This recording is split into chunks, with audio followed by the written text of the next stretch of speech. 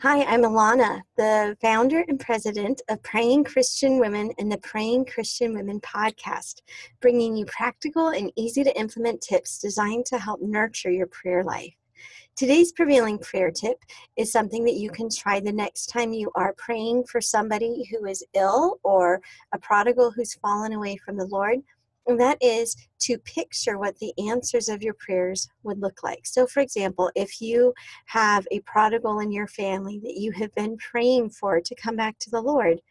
in addition to just praying for them, you can also picture them worshiping God, or you can picture them repenting of their sins and turning their lives around. This isn't our way of manipulating God into making our mental images come true, but it helps give us inspiration and increases our faith, which does fuel our prayers.